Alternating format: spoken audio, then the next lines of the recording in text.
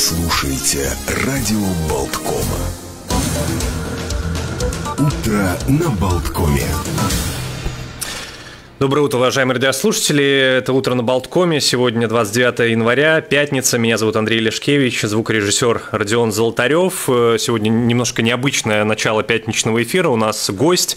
Удалось нам договориться на небольшую беседу с главой бюро вакцинации Эвой Юхневичей человеку, которому сейчас в контексте пандемии коронавируса приковано едва ли не наибольшее внимание. А госпожа Юхневича у нас сейчас на прямой э, видео линии. Мы договорились о билингвальной беседе. Я буду задавать вопросы на русском языке. Госпожа Юхневич отвечает на латышском. Госпожа Юхневича, доброе утро, лабрит. Лабрит, доброе утро. Да, доброе Спасибо, утро. что я могу говорить по-латышски, потому что мне трудно будет по-русски вам рассказать Да. так э, правильно. Да, ну что ж, спасибо вам, что нашли время для этого разговора. А, Времени у нас не так много, поэтому сразу перейдем к делу. Первым, в первую очередь, хотел э, спросить вас, ну вот прошла неделя с момента, когда стало известно, что вы возглавите это бюро. Не секрет, что на вас обрушился большой пресс внимания со стороны журналистов и общественности.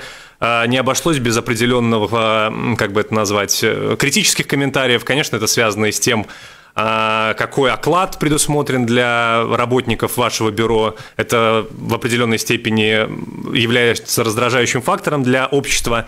Как вы все это переживаете? Является ли, является ли это для вас э, чем-то тяжелым или, наоборот, мотивирующим? Как это у вас происходит? Patiesībā, protams, ka uh, tas nav noslēpums, un tā kā jūs arī sakiet, jā, bija pievērsta ļoti liela uzmanība šī vakcinācijas uh, projekta biroja izveidei, bet uh, uh, šeit ir jāapzinās, ka šim vakcinācijas uh, projekta birojam ir ļoti liels un atbildīgs uzdevums. Patiesībā es gribētu teikt, ka šis ir uh, atbildīgākais uzdevums uh, šogad visā valstī. Panākt to, ka līdz vasaras beigām būs vakcinēti 70% uh, Latvijas pieaugušo, uh, visu Latvijas pieaugušo iedzīvotāju. Līdz ar to tas ir ļoti nopietns uzdevums. Uh, Protams, kā, jā, tā kā jūs sakat, ir panāk, pagājusi nedēļa. Tieši nedēļa, jo pagājušo piekdienu mēs uzzinājām konkursu rezultātus. Pagājušo piekdienu, pulksten 11. mēs kā komanda pirmo reizi satikāmies. Pa nedēļu ir noticis eh, gana, gana vērienīgs jau solis uz priekšu. Vakar valdībā tika apstiprināts vakcinācijas plāns, un tagad uh, ir mūsu uzdevums uh, šo plānu pārvērst kopā ar veselības jomas uh, uh, iestādēm un kolēģiem, pārvērst šo plānu jau, jau reālos darbos, darbu uzdevumos, tabulās, grafikos. Да, господин Юхневич, что касается коммуникации, м, в- и вы уже сами на- на- за эту неделю успели об этом что-то сказать, э, и все понимают, что это очень важно, потому что можно что-то делать, э, но если это не разъяснять для общества, то это останется непонятым и доверию не будет способствовать. Вот хотелось бы услышать от вас, как вы видите эту коммуникацию в контексте вакцинации. И, конечно, все-таки в силу того, что мы общаемся вот так билингвально, я не могу не отметить, что а, вот я смотрел ваш разговор с латвийским телевидением, э, там вам даже задали вопрос, продемонстрировали график того, что русскоязычные жители Латвии якобы э, более скептичны по отношению к э, вакцинации. Вы сказали, что необходимо коммуницировать. В таком случае, как эту коммуникацию? Э, Это будет все-таки посредством текстов на русском языке, потому что... Или все-таки какие-то представители вашего бюро все-таки на русском будут общаться? Uh, mm, jā, varbūt mēs pāragri vēl par šo runājam, un tāpēc es atvainojos vēlreiz, ka es runāju latviešu valodā.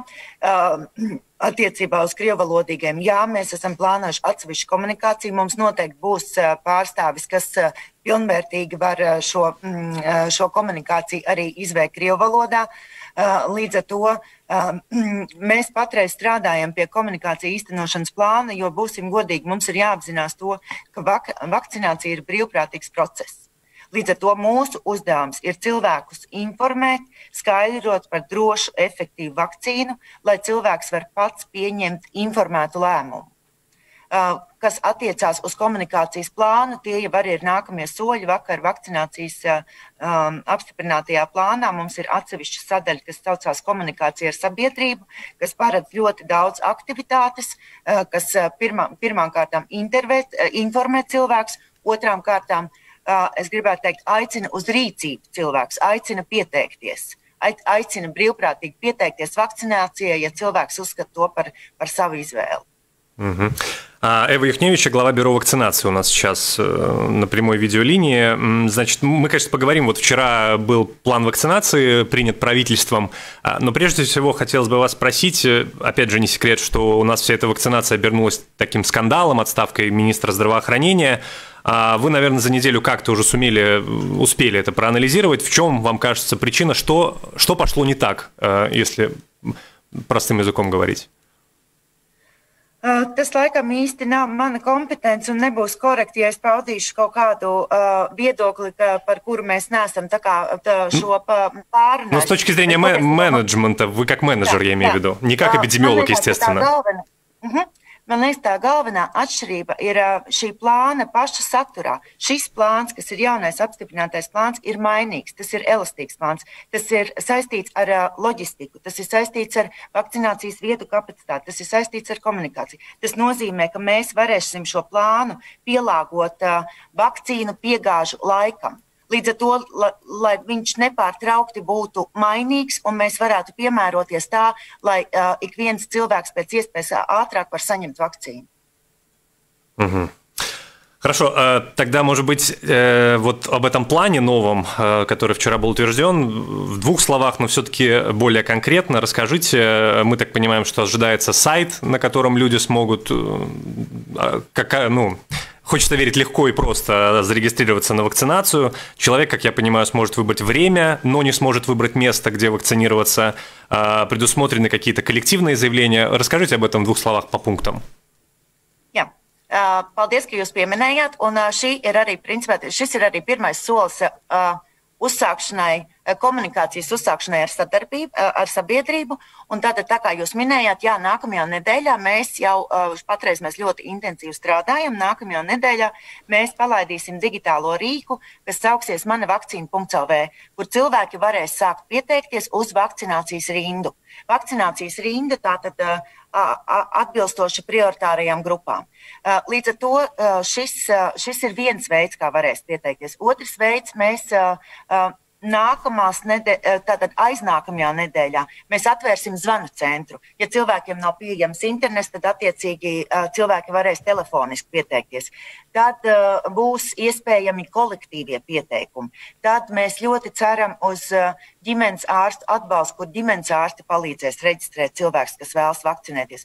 Un es pat gribētu teikt, ka mēs patreiz esam definējuši šos četrus kanālu uh, veidus, bet es pieļauju, ka noteikti būs vēl veidi, kā pieņemsim, mums jau tagad ienāk informācija no partneriem, kuri ir gatavi organizēt pieteikšanos uh, caur aptiekām, caur veikaliem. Līdz ar to mēs mēģināsim aptvert visdažādākās formas, kādā veidā cilvēki var uzsākt pieteikšanos uz vakcināciju un stāties jau rindā. Un tiklīdz kā vakcīna ir Latvijā, tā izējot no šīs eh, rindas, izējot no šīm prioritārām grupām, eh, mūsu mērķis ir galvenais, lai cilvēki pēc iespējas ātrāk šo vakcīnu arī saņemtu.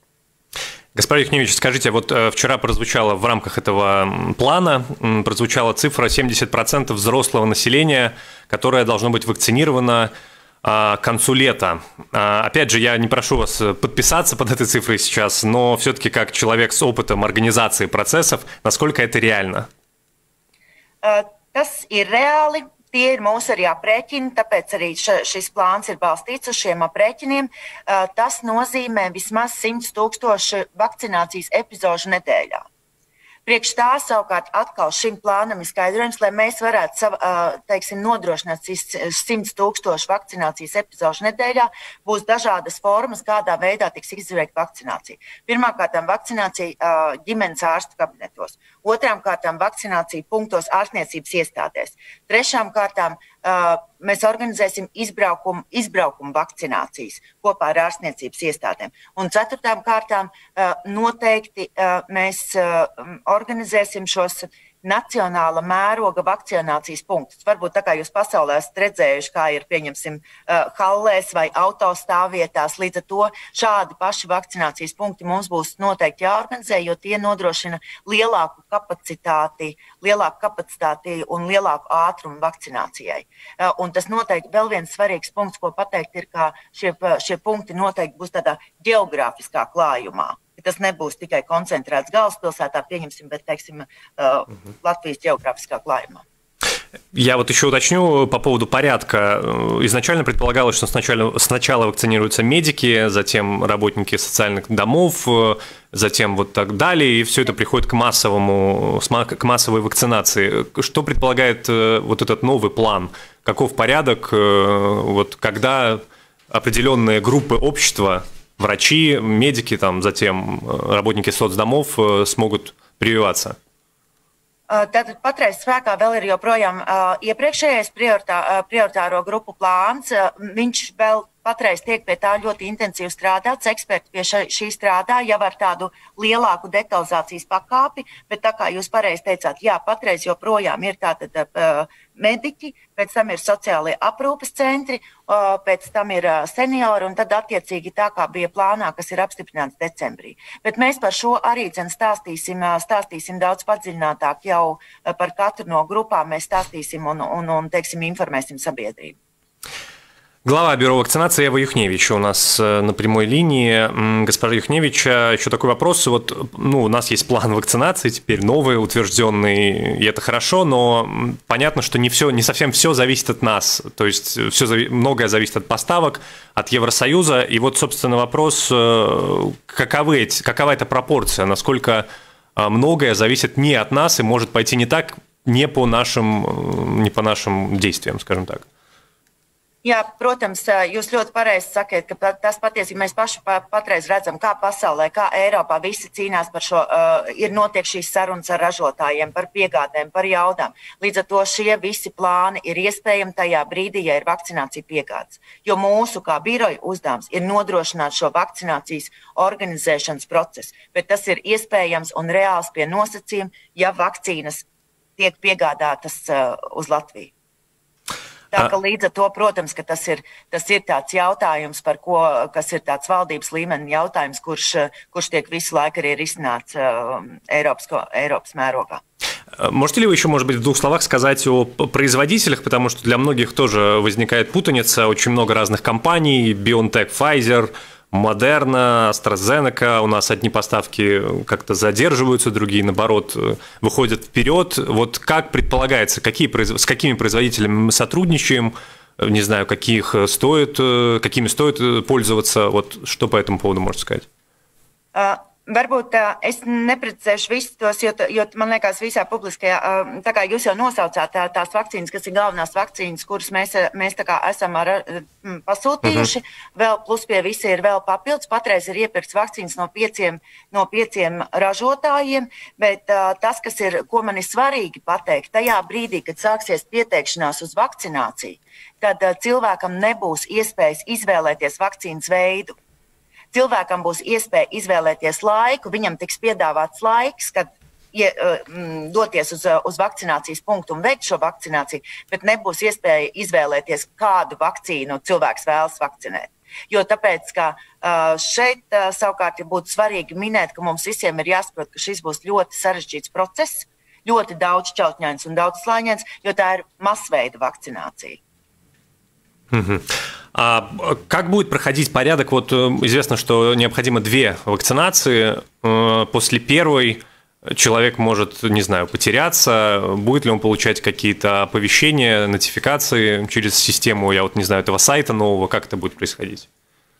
Jā, tātad šis vakcinācijas plāns paredz arī IT sistēmas atbalstu. Un IT sistēma principā veidos, veidos rindu rindu, kura, kura attiecīgi cilvēku pēc prioritārajām grupām ierindo laikā, kad cilvēks var saņemt vakcināciju. Līdz ar to būs atgādinājums, būs paziņojums, kad vajag ierasties, būs lūgts arī cilvēku apstiprināt šo laiku, kad cilvēks ierodas. Tajā brīdī, kad cilvēks ir veicis pirmo vakcinācijas epizodi, tad jau vakcinācijas, tātad pēc šīs vakcinācijas uzreiz cilvēks tiek pierakstīts uz otro devu. Un pirms otrās devas arī pienāk paziņojums, atgādinājums par to, lai cilvēks nekavētu šo, šo, šo nepiemirstu un mm -hmm. nenokavētu šo laiku ierasties uz vakcināciju. Угу. А вот еще, что касается, нас, нам всем анонсируют, что в будущем, в принципе, нам придется иметь дело вот с, ну, COVID-пас, понятие, да, которое уже в аэропортах используется, но якобы вот будет такой паспорт вакцинации, тебе нужно будет продемонстрировать там при посещении каких-то ивентов, например, что ты вакцинирован, что ты, не знаю, переболел коронавирусом, это в вашу каким-то образом компетенцию тоже входит? Будет ли отображаться где-то у человека посредством какого-то документа, который он может предъявить, что я вакцинирован, пустите меня на концерт условно? Nē, šī nav mūsu kompetence, bet cilvēks pēc vakcinācijas otrās devas saņems vakcinācijas certifikātu. Tas gan nav tas, ko jūs sakat, jo līdz ar to tā ir nedaudz cita, cits teiksim, formāts. Bet, bet, nē, bet nē, nē, attiecībā šī nav tomēr mūsu kompetence. Mm -hmm. Ja kurā gadījumā, ja mēs paskatāmies pasaules pieredzi, tad uh, agri vai vēl droši vien uh, gan, tā kā jūs sakat, gan pasākumu rīkotāji, gan, uh, gan turismu nozars, gan avio nozars, visi, visi domā, kādā veidā šo, šo sakārtot. Līdz ar to es domāju, ka mēs būsim uh, elastīgi un uh, mainīgi un pielāgosimies pasaules prasībām. Mm -hmm. И вот еще технический момент того, как все это распределяется и вообще организуется. Э, наше Министерство обороны предлагало активно очень свое содействие. Вот в лице министра Пабрикса он говорил, что у военных очень хороший опыт, логистика, все такое. А вот вы как считаете, опять же, как менеджер, э, необходимо ли привлекать, например, Министерство обороны? Будет ли это эффективно, чтобы быстрее этот процесс как-то продвигался? Es domāju, ka patreiz šis ir pāragri jo tāpēc, ka patreiz mēs strādājam pie šī vakcinācijas plāna, nu, tā kā e, stratēģijas pārvēršanas darbos, bet jebkurā gadījumā tas, ko jūs minējāt, jā, tas ir ļoti nopietns un ievērojams resurs, kas var palīdzēt veicināt šo vakcinācijas apjomu, šo vakcinācijas kapacitāti. Tātad līdz ar to es domāju, ka mums noteikti būs sarunas un, un pārunas, un iespējamās sad, mēs meklēsim sadarbības formas, kā sadarboties un visu spēkiem tā kā, tā kā izveikt šo vakcinu, padarīt šo vakcinācijas procesu maksimāli ātru un jaudīgu. Хорошо, тогда последний, наверное, вопрос, нам уже пора заканчивать. Э, вот, собственно, про ваше бюро э, я хотел еще спросить. Может быть, я этого не увидел в докладе о создании бюро. Как предусмотрено вообще? Э, то есть в определенный момент, когда вот этот вот этап вакцинации, там, или два этапа вакцинации будет осуществлен, бюро будет распущено, или это вот структура, которая при Минздраве теперь будет постоянно работать, потому что понятно, что коронавирус завтра и послезавтра не исчезнет? Šis birojs ir veidots tieši konkrēti ar vienu mērķi - vakcinēt, uh, uh, vakcinēt cilvēkus. Tas nozīmē, ka tajā brīdī, kad šī ma masveida vakcinācija būs beigusies, līdz ar to arī šis birojs tiks likvidēts. А какие сроки примерно вот этого события вы прогнозируете, если это возможно? Patreiz mūs, uh, mūsu sadarbības forma ir uz gadu. Ļoti mm -hmm. patiesībā lai, es gribētu cerēt, ka varbūt mums to izdosies visu paveikt ātrāk, līdz ar to arī birojs tiks likvidēts ātrāk. Ну что ж, спасибо большое. Глава бюро вакцинации, которое было создано неделю назад, Эва Юхневича, была у нас в утреннем эфире. Спасибо вам, госпожа Юхневич, и удачи в вашей нелегкой работе. Спасибо вам.